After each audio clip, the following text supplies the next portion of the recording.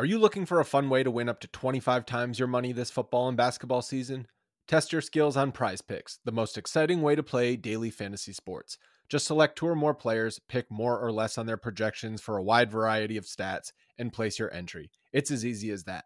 If you have the skills, you can turn $10 into 250 with just a few taps. Easy gameplay, quick withdrawals, and injury insurance on your picks are what makes Prize Picks the number one daily fantasy sports app. Ready to test your skills? Join the Prize Picks community of more than 7 million players who have already signed up.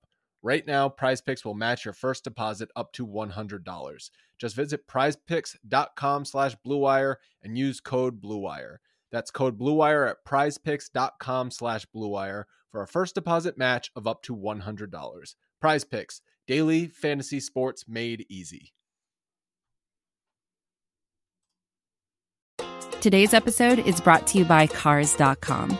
With over 2 million vehicles and 50,000 more added every day, Cars.com will match you with the perfect car for you, your budget, your life, your style. And if you're ready to say goodbye to your current car, Cars.com will get you an instant offer to cash it in. Just start by entering your license plate and get matched with a local dealer who will write you the check.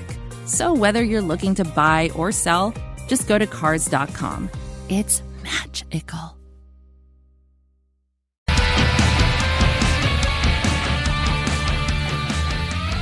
Hello, everybody. It's Kirk Henderson and Josh Bowe coming to you Monday night after the Mavericks fall to the Denver Nuggets in wholly frustrating fashion, 117 to 113. Josh Bowe, what are you doing? I'm waiting. I'm waiting for you. I I'm feel mad. like I'm mad. I know. Just take it away, man. I, I- mm. the I think- Bigs as a unit suck. And uh, right now, they're not bad players. Porzingis is not a bad player. But in a game where they needed something against the Denver Nuggets and their MVP caliber big, do you hear that, Harper? MVP caliber um, big, they all really, really played poorly. I, I don't even know where to start. I, I maybe we should just discuss the game a little bit before before me being a lunatic. What do you think? Sure, that works. We can do that. Um, for me, I think the game kind of encapsulated everything about the Mavericks season so far. Uh, again, I think we should, you know, Mavericks lose 117, 113 to the Denver Nuggets.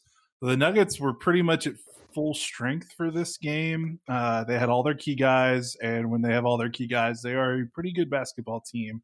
Yeah. Uh, and it looked, you know, in the first half, the Mavericks offense was actually doing pretty well because, all things considered, the Denver offense was just kind of insane. And it just looked like one of those games where it's like, man, the Mavericks just, they're going to do everything they can, but, you know, they're still going to lose by 13, 14, 15 points because the Nuggets are that good and the Mavericks are missing three or four starting player caliber players.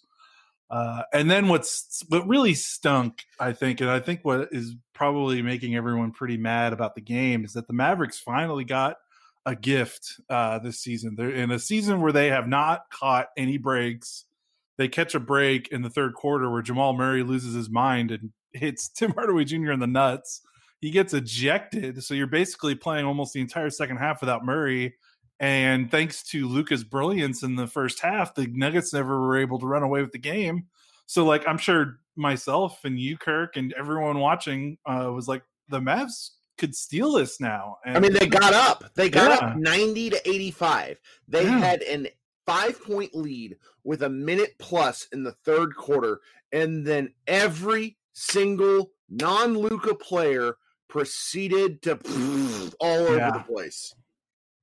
Yeah, and that's what it, it went. It went from shorthanded, tough, you know, rough loss to a close team to we're going to steal it to disappointing loss, and that just you know the Mavericks are eight and nine on the season, and that that's kind of their season, right? That's their season so far. Well, and it's not going to get easier. We talked about mm-hmm. this two days ago because they have back to back to back to back to backs against Utah and Phoenix, where are- where it's just going to be a, a bit of a mess because those teams, frankly, are better than Dallas right now. And I, you know, Luka Doncic is such a challenging player to accurately assess because his counting stats are just out of this world.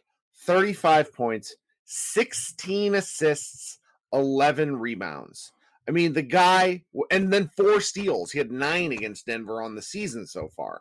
He was everywhere doing everything. I could lapse him specifically. The the kind of game sealing three from Michael Porter Jr. was a result of him pouting at the ref for not getting an offensive foul call. Uh, but frankly, the Mavericks shouldn't have been down by that much. This game was lost because the Mavericks bigs did not show up. And I'm really not sure who to start with because when Rick Carlisle opted to start the Willie Cauley Stein, Kristaps Porzingis front court again, we all had a cow in our slack because it it it speaks to Dallas not understanding what they're good at. And that's probably not fair. They know more about this than we do. But Willie Cauley Stein is terrible right now.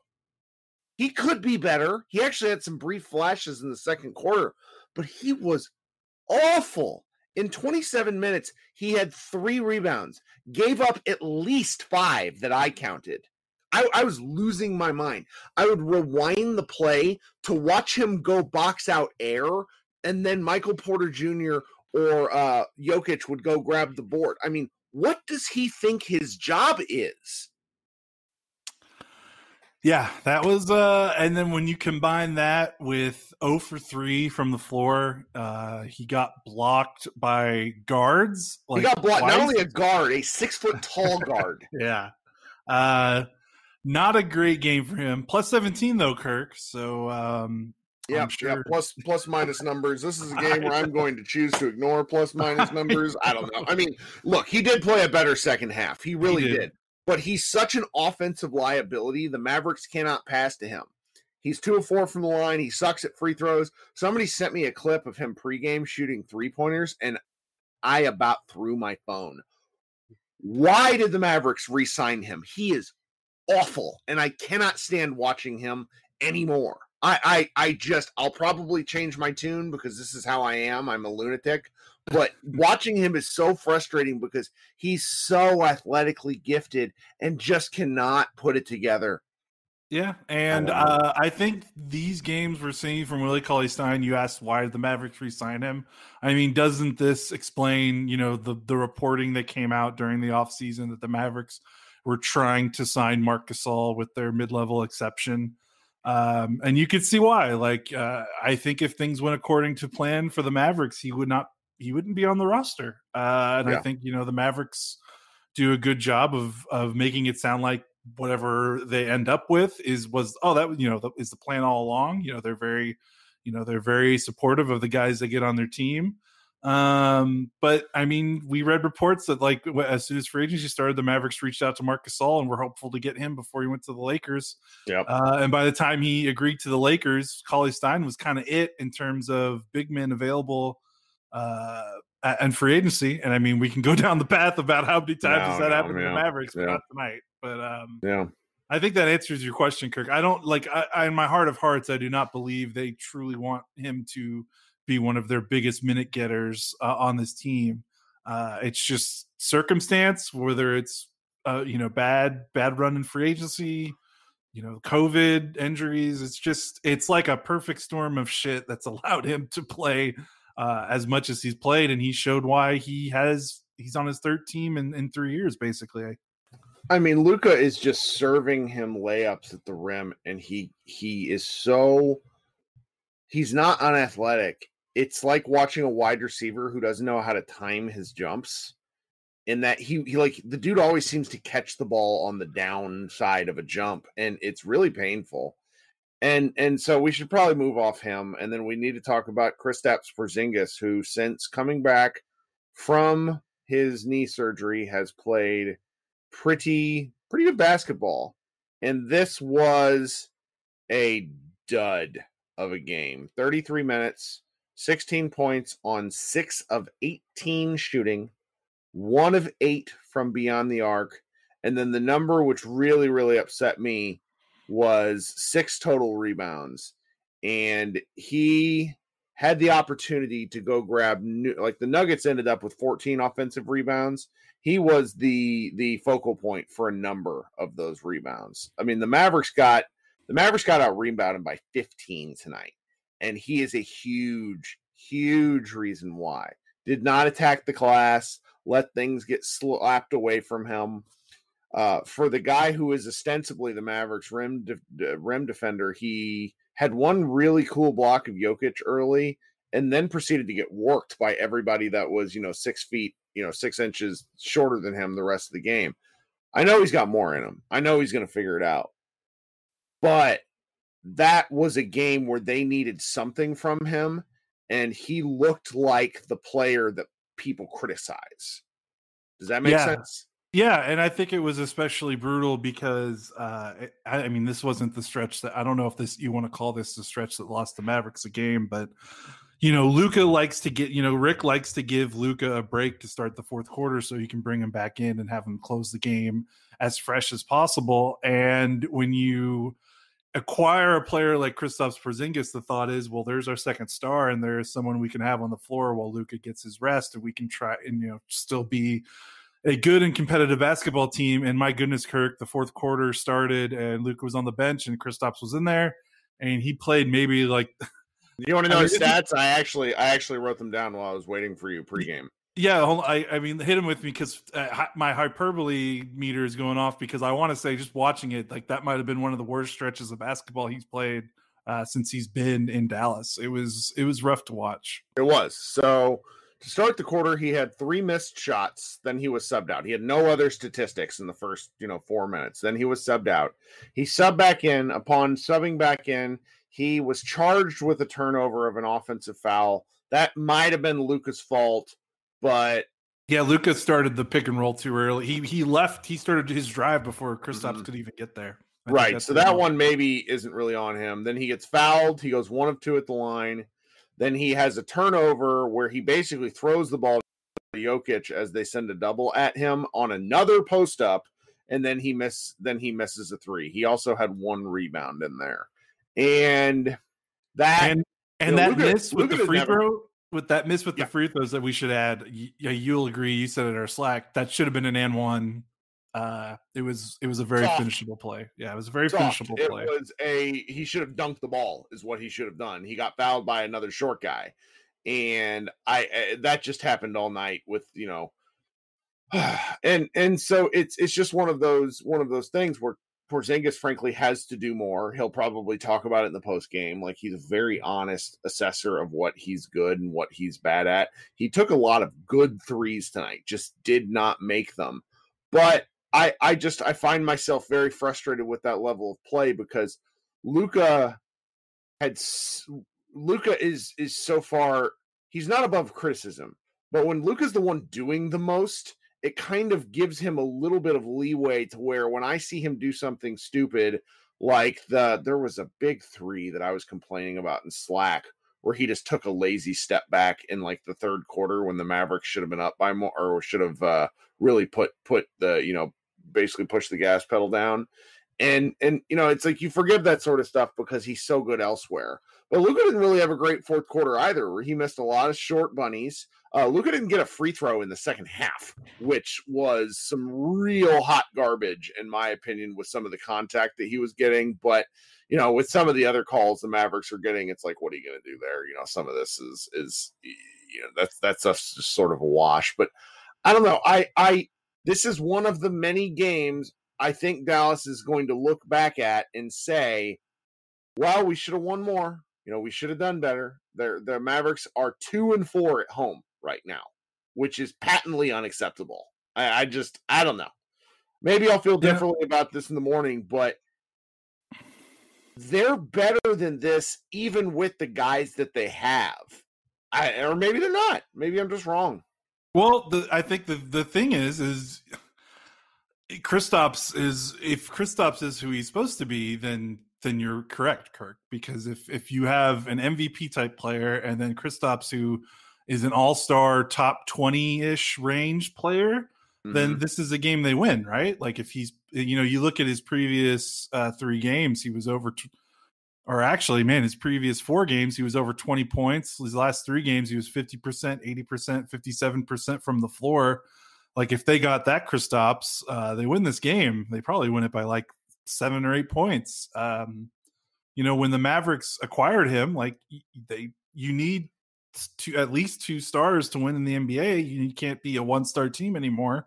Uh, you know, even Portland with Damian Lillard is learn. You know, they're you know they're they're plunky every season, but the reason why they don't they're not a true finals contenders because you know you can't just do it with one guy. You know, Dirk might be the last one the last like one star championship winner, I guess, unless you want to count Kawhi Leonard. But man, that team has a bunch of other good players. But he just needed to be better, and he wasn't. And you know, he missed, like you said, his his his eight three point shots. Like I don't, he didn't take really any bad ones, and you know that's a shame that he started so slow from three. But that was kind of the case uh last season so you just hope that he you know as the season progresses and he comes back from that knee surgery that things are better well, they, somebody we should do a, a post on his post ups because for a guy like he's getting more post ups.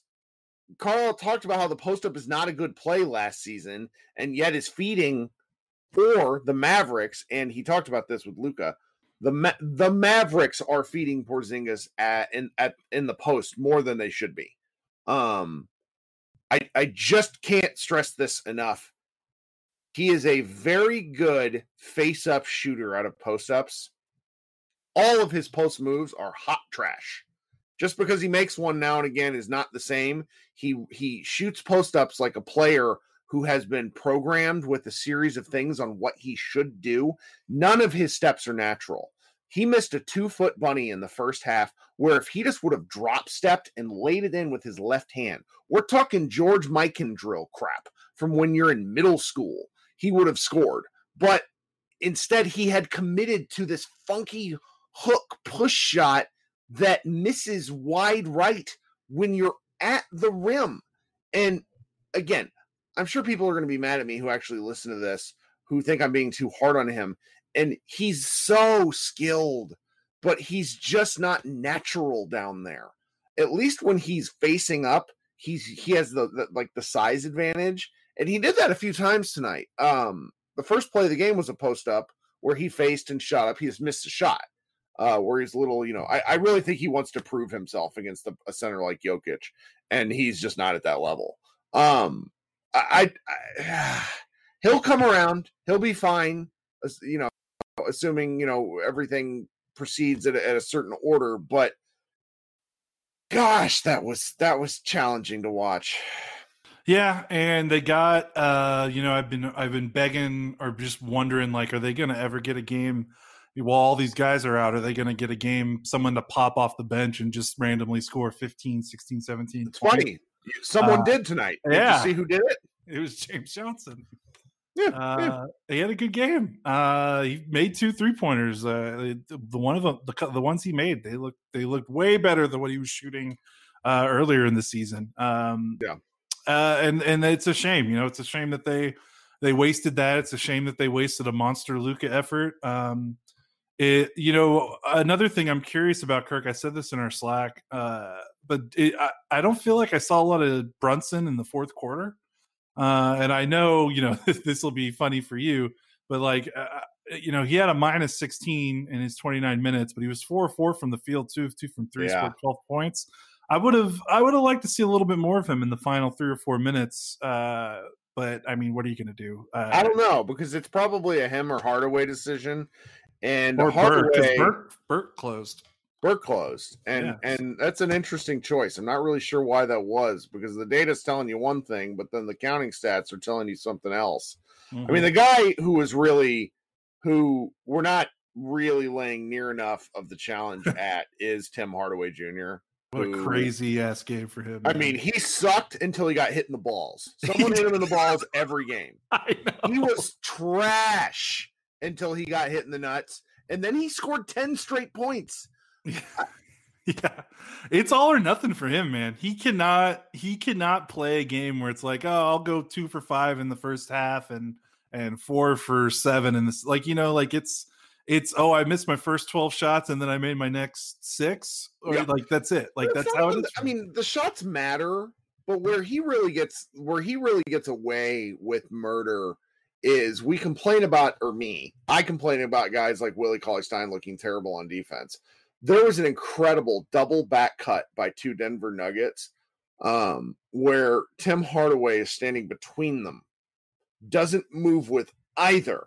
I took a screenshot of it, and he's just standing at the wing by himself while Porter Jr. is under the basket, who is his man, and then another player was at the elbow who was closer to the and, and he's just standing there. I mean, he just has he's an awful defender. And they keep like the fact that they started him on Murray was insane, which is why Murray was so angry and why he because like Hardaway was fouling him and the refs just weren't calling it. And it, I, I just I don't some of the some of the decisions for Carlisle have to be out of necessity because yep. like uh, there's just oh god like why would you put Tim Hardaway on Jamal Murray? I'm uh, I don't know. Well, he probably, he can be better. Yeah, it's probably because well, I mean, every Nugget perimeter player is basically an off-ball player because Jokic has the ball at the top of the the floor so often. Right. But of the Nuggets guys, with you know Murray probably has the ball in his hands the most, and it's probably one of those things. I feel like Rick did this with Monta back in the Monta Ellis days, where it's like he is so space cadet off the ball that it's like even though it sounds insane let's put him on the ball if a guy's gonna have the ball in his hands a lot because he see you know it's like like you you've got your dog trying to get him into the house you're dangling keys just like just to get him to pay attention. And uh sure. it's it's like that's the maybe that's the way you you fo- he he's focused. So like i imagine that's got to be the the thought process um, but yeah, it's not great. And then I would imagine if they had their full roster, I mean, he's probably coming off the bench anyway. So uh, it's just another one of those things where how many times can we? I, I don't know how many times we could say it, but like COVID sucks major ass, and it's really it's really got this team in in a, in a in a bad way sometimes. And it's not getting any better. I, I we might as well talk about that. Uh, yeah. We don't know much, but we know enough, and Maxi Kleber is the odd man out in terms of people who are not looking to return anytime soon. Uh, we have seen Josh Richardson and per the Zoom call in the pregame, uh, Dorian Finney Smith and Dwight Powell may be resuming activities in short order. And and I believe all three of those guys are now uh, in street clothes on the bench. I believe okay. Finney Smith and Powell were there with Richardson uh, today, uh, sitting which, behind the Mavericks bench. Which, if that's the case, that just leaves Maxi Kleber and Kleber, yeah. as we have found out. I mean, to a certain degree, we knew this, but it's been really emphasized. Kleber's versatility is missed, mm-hmm. and mm-hmm. he ain't coming back. Uh, you know, we're probably talking not this week for sure. Yeah, so, at least five more games, and yeah. then that is really challenging. I, I don't really have anything else to say about it other than I hope he hope he gets well soon because it's probably fairly frustrating if he's feeling any better, or you know if he's not feeling any better, probably a little worrisome. Yeah, I mean that's what you know that's what Trey Burke talked about when he got here. He was he said he was basically sick as a dog for like 20 days, 20 25 days until he finally got over it and then, you know, kind of had to get back into shape. So that's the part that like I haven't talked about a lot on our podcast or written about, but I talk about in Slack because that's where we that's where I go to be a doomer, not, not as much in public. But like that's what that's what worries me. You know, I want the you know just these guys. I want them to get healthy and just personally for them to be healthy. You want them to be okay because it's a scary thing, and it's not just like you know it's just so weird with covid you know i'm not a doctor but you know some of these guys come back and it's like they never had it and then you know we've seen examples of guys come back and it's they're just a little off you know they're not the same or it takes them a longer time to to, to acclimate and get back into the shape they were before they got sick. And it's like you just don't know. And with maxi you know being still not you know it's been about almost two weeks i think since he's been out and he's still hasn't progressed to a point where he is allowed to sit behind the bench. You imagine that means he's still either testing positive or showing symptoms or he's still sick and and and you just worry for him as a human? And then you're it's just you hope you just don't know how guys are going to react coming back from testing positive to this because it's still you know it's a new disease. We're still learning more about it and it's i think there's a certain aspect of the Mavericks Twitterverse or fandom that thinks that these guys are going to come back and everything's okay. And when they're 100%, like to a degree, yes, but how long is it going to take once they get back? Like, you know, is it still going to yeah. take them another three or four games once they get back to, to if really not more. Back? Yeah, so that's the part I worry about. But that's just worrying for worrying's sake because I feel like there's nothing else for me to say because every single one of these games, I'm like, man, if they had these guys, they'd probably win. You know? Yeah, man. I'm I'm just kind of in a doomer mode right now where I told myself before all this happened that if the Mavericks made it through this five game stretch, this kind of um the stretch against the Nuggets, the Jazz, and the Suns, if they made it through winning a single game with the roster as assembled, I'd be pretty excited. Which is why I'm so frustrated about this loss because I, it was it was handed to them. They had a chance to win it, and they just didn't because they started that game so sloppily, or they started the fourth so sloppily, and you just handed it to a guy like Jokic, who is a killer, who is a killer. I just and and and let me let me just talk about something because it's late in the podcast and anybody who actually hears this. I had to turn away from the mavs broadcast because i couldn't handle how they were talking about jokic who is an mvp candidate. That dude is so good at basketball. Man watching him play he had a hook shot like a sky hook that was over um it wasn't Luka. It might have been it was somebody like hit the back of the rim and then like soft bounced in and like that's so hard to do yeah he's like, he's so good he's so good and and and it's one of these things where if the season goes on and they keep playing like this he will be an mvp candidate a year later than people thought he would which you know I don't know. Him and Luka seem to really like going at each other, which is lots of fun to watch. I don't know. I, I hope we get a couple more Nuggets games this year just for that. Dude, the NBA needs to find out how to get these guys playing a playoff series because holy crap, every single Mavs Nuggets game since Luka's been in the league, I feel like is comes down to the final two minutes. These games are outrageous. Well, and and then there's also probably one of the more fascinating players to watch. Now we're talking about Nuggets, so I hope everybody's tuned out. Michael Porter Jr. is nuts. I, I don't know how to describe him as a basketball player other than kind of an insane person because he just he he makes two horrendous mistakes and then buries an impossible three point shot. I mean, the guy, and then his rebounding. I, I don't know. I really, I just like the Nuggets because I feel like they're they're just such an interesting collection of players. I do hope the Mavericks play them in the playoffs at some point. That'd be a lot of fun. Yeah. Uh, and I understand, like, to get back to you being kind of, you know, down. You know, I really think, you know, man, that Murray ejection in the third quarter, like, I really think that was it because, like, in my head, I was like, man, fine. Like, think about this Maverick season.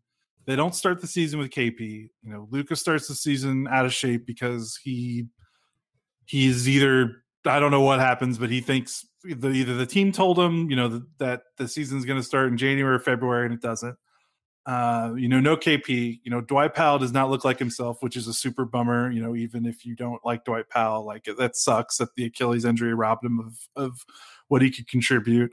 Right. Uh, and then you know, after all that, Luka finally starts getting going, and you know, KP. You hear more more about KP practicing, and then boom, the COVID stuff happens, and yep. you're playing games all of a sudden where you're literally they played a game this season where they missed six of their top eight players, uh, and they've played for about almost three weeks now without at least four of their top uh, eight players, and that's like you're just like, man, can they get can some can the basketball gods throw this team a bone? Uh, no pun intended here, but they kind of did with Jamal Murray uh, hitting Hardaway in the nuts and getting ejected. And I'm just thinking in my head, I'm like, fine, like this is the break they get. They get a feel good win, you know, they thanks to a fluky outcome that they deserve this, you know, like they've yep. been they've been through the ringer this season. They needed this, and then they lost. it's yep. just like shit, man. Like, just sucks. I understand why it's a it's a bummer loss. I mean, I I hope this is the hard part of the season. I hope that we look back at this.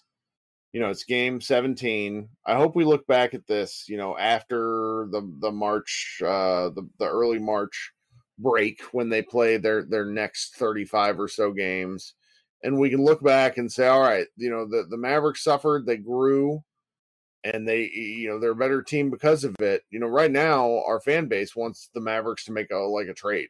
They want the mavericks to do something rash and i don't blame them because we were promised a a better team than this and circumstances And you know, however the Mavericks picked up COVID, however four players, and then another one contracted COVID, is is is you know up for debate. I will simply say that. I know there's a lot of people out there who are uh, probably, uh, you know, it's it's not their fault. A lot of us have managed not to get COVID. I'll tell you that. Um, and, and, this is just one of these these parts of the year where we can look back, you know, maybe a month from now, maybe two months from now, and say, "Gosh, that was like a character building time where the Mavericks figured it out." And and hopefully, all my doom and gloom nonsense, where people will throw it back in my face. I would love that. That would be awesome. Yes, I would too. And and you know, they're getting these guys at the end of the bench are, are getting some minutes, even if they're not necessarily doing too great, but it's something. Uh, and although Josh Green got sent to the Phantom Zone tonight, so uh, R.I.P. Josh Green. It, it was good while we knew you. but uh, he'll be back. He'll be back. He'll play. Uh, I, I wonder. I don't know. It is kind of interesting though because the Nuggets really I mean, this would have you thought this would have been a game for Green because the Nuggets don't really play a, a ton of bigs. Uh, you know, it's basically Jokic. You know, Millsap played 19 minutes and and JaMychal Green played 22, but for the most part, you know, you they play a lot of you know Murray, Harris, Barton, Michael Porter, like they, Monte Morris. They play a lot of guards and wings in their in their rotation. So he thought. I thought Green would get a chance, but uh, he did not, and uh, we'll just see what happens next game. He'll he'll have to get a chance again because with the way the season's going. Yeah, and that's really like that's the flip side before we get out of here about, you know, the the fact that they get like a day off. You know, Brad Brad Townsend reported uh, just now that Luka Doncic and James Johnson indicated that the Mavericks met after the game, and several people, including Rick Carlisle, spoke, but they declined to give specifics about what was said. And it, it, it's just it's got to be crushing, is really what it is, and they've got to be talking about pushing through uh that that's the only thing i can really think of because you know very besides people playing a little bit better um and the mavericks would have had a chance to win and then i would have been laughing about man wasn't it cool that the mavericks escaped with willie cauley stein's three rebounds in 27 minutes? Like that sort of stuff so. Yep but hey, good news is that they play the Utah Jazz twice in a row next, and the Utah Jazz might be the NBA's hottest team in the league. And it's not like the Jazz have had the Mavs number over the last uh, year and a half. Yes, yes, we're about to find out. We're about to find out if uh, if anything is different because it'd be worth looking into because I feel like Luka uh, or I feel like Porzingis didn't play in some of the Jazz matchups, and and he changes the math if he's able to hit shots. So Right. Gotta gotta get Gobert out of the paint with uh, Porzingis. Cannot afford another one for eight three point shooting oh. night from him against the which, Jazz team. Which I doubt we will. You know, I feel yeah. like he's he, he, just he's he's he's shooting all wrists just like he was at the start of last year, and I think that that will shake itself out over time. Well, look at me, our our audio snafu, which hopefully you guys never noticed, uh, pivoted from me. You know, I, I apparently droned on to myself for almost a minute and a half, and it didn't get recorded, uh, where I was very grumpy, and so hopefully you all missed that.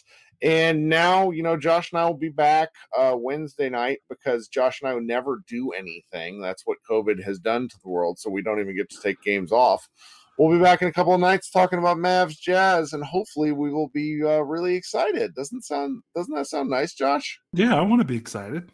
I want to be excited too. Okay, everybody, this has been Kirk and Josh with a uh, another slightly morbid episode of Mavs Money After Dark. We'll talk to you a little later in the week.